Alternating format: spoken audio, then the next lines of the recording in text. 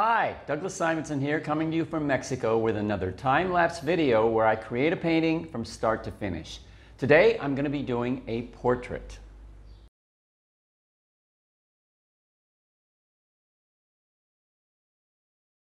Today's painting is a portrait from a series I did recently called Future Husbands.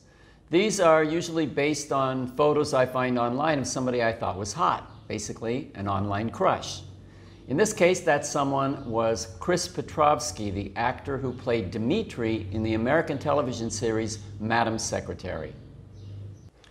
This is the photo that I worked from. You can see there are two versions here. That's because one is the original and one is the tweaked version. You probably already know that I usually tweak whatever photo I'm going to work from in Photoshop to make it easier to work from.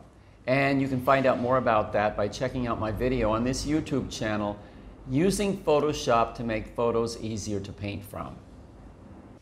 The photograph is basically just a starting point. I then do a lot of drawing and basically reinvent the face in my own particular expressionist style, or what I call expressionist. Then when I'm happy with it, I transfer the drawing to canvas to turn into a painting. Next, I go over all the lines in the drawing with black paint. Sometimes I paint more or less realistically, and sometimes I paint more expressionistically, like this time. And when I do that, I really like lines. It's fun to see what happens when I start applying paint to the line drawing. Once the black paint is dry, I cover everything with an acrylic wash. This is my standard practice, and I usually use a mix of dioxazine purple and burnt umber, and that's what I'm using here. I find it's much easier to see how the color relationships are actually working in the painting as you go along if you're not painting on a blinding white canvas.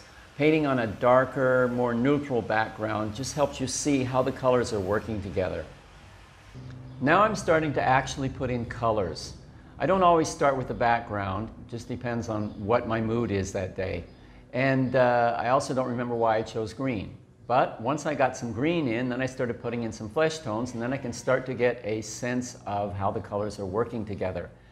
The flesh tones are interesting. There are lots of ways that you can mix them.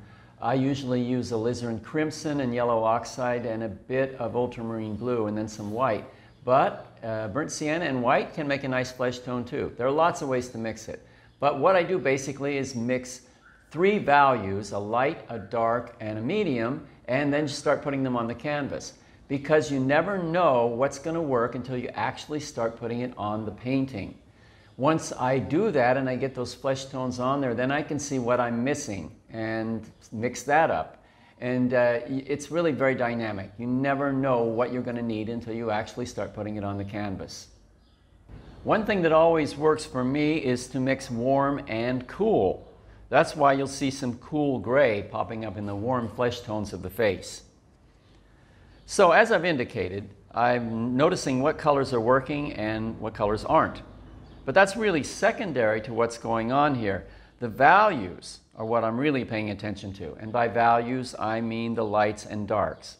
Basically, you can have the most beautiful flesh tone imaginable, but if it's too dark or too light for where you're putting it, it will not work the lights and the darks, the values, have to be right. The values are what make the whole thing look like shapes with light hitting them. Your colors can be all wrong, and if the values are right, it will still work.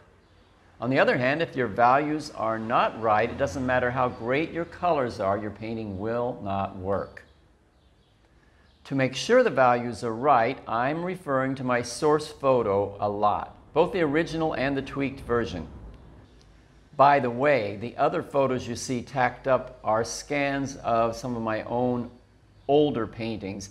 These are paintings I chose because they're really loose and have a lot of energy and I really like them. That's something I'm always aiming for, but only actually achieve a small percentage of the time. So I put up images of my, what I think are my greatest successes to give me something to aim for with this painting. As I work, I'm stopping and stepping back a lot, getting distance from the painting. And I'm also squinting a lot. This is so I can fuzz out the details and get a better idea of how the overall image is working. Like, is this guy coming to life? Do I feel a personality? Is the expression working? I can change a lot with a little light here or a little dark there. So I'm experimenting as I go, trying stuff, and then stepping back and squinting to see how it worked. The stuff that works, I keep. The stuff that doesn't work, I try something else. This is a good summary of how I paint. When the face is more or less working, then I turn to the shirt and the background. This is pretty easy stuff compared to the face, but it still needs to be right. Again, the values are more important than the color. Once the shirt and background are more complete, I go back to the face and now I'm just refining it. Basically, I just want to make him as sexy, handsome, and charismatic as I possibly can. And if there's a bit of mystery in his expression, so much the better. This is what I'm going for anyway. Once I'm satisfied with that, I finish the background and voila, future husband number four. And this is the final painting, Future Husband Number 4. You can see it on my website at douglassimonson.com. Okay, I hope you enjoyed watching me paint today. If you did like it, hit the like button and please subscribe to my channel. I'm always making new paintings, which means I'm always making new videos. So if you did like today's painting and you got a little inspired, go! Put on your painting clothes, get out your paints, and go paint!